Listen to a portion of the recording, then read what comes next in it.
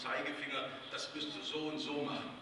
Das Wichtigste ist, dass die Menschen das Gefühl haben, sie machen etwas, was auch ihnen selber Spaß macht. Und meine Erfahrung ist in diesem Land, in Deutschland, wenn die Menschen das, was sie Ideen in sich haben, ausleben dürfen, wenn sie Freiraum dafür bekommen und dann, wenn es notwendig ist, auch Unterstützung, dann wird was draus. Und das ist das Erfolgsgeheimnis eines erfolgreichen Landes, dass eine Gemeinschaft da ist, die den Talenten, je nachdem, wie sie eben ausgestattet sind, Spielraum geben, sich zu entfalten, dass man auch solidarisch ist, denen zu helfen, die vielleicht weniger Kraft haben oder auch Ideen, dass man eben als Gemeinschaft sich äh, versteht und dann wird man erleben, es geht. Und deshalb bin ich immer so dankbar, dass dieses Land eben diese Solidarität hat.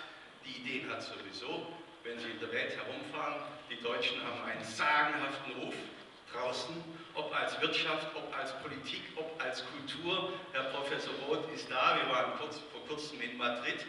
Wir selber in Deutschland, wir sind ein bisschen, ja, ein bisschen kleinmütig, wir glauben nicht so recht an uns.